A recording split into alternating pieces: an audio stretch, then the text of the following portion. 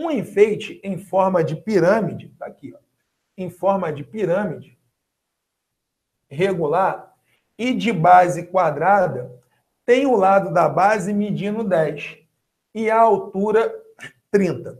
Qual é o volume em centímetros cúbicos dessa pirâmide? Pessoal, aplicação de fórmula.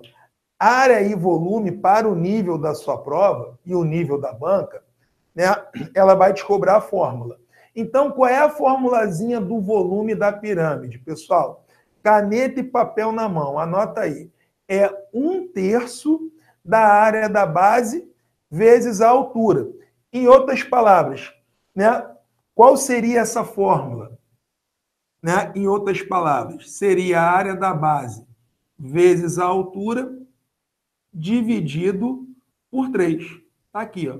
Essa seria a fórmula do volume da pirâmide. Vou dar um segundinho aí para você anotar, para você memorizar, que essa é a fórmula do volume da pirâmide. O que, que você vai encontrar aí nos livros? Um terço da área da base vezes a altura. Em outras palavras, seria exatamente isso aqui. É a área da base vezes a altura dividido por 3.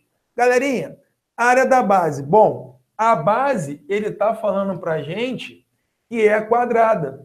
E como calculamos aí a área do quadrado? É lado vezes lado ou lado ao quadrado. É a mesma coisa.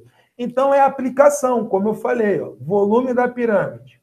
É a área da base, só que a base é um quadrado. Qual é o lado do quadrado? 10. Então, seria 10 ao quadrado que é a mesma coisa que 10 vezes 10.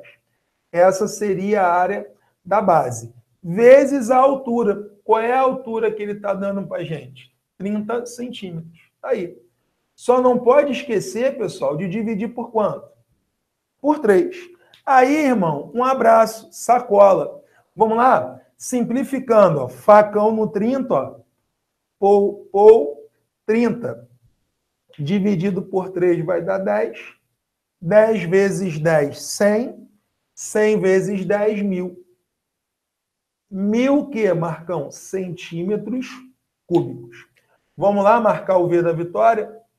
Qual é o nosso gabarito? Letra E de eu vou passar no concurso da brigada.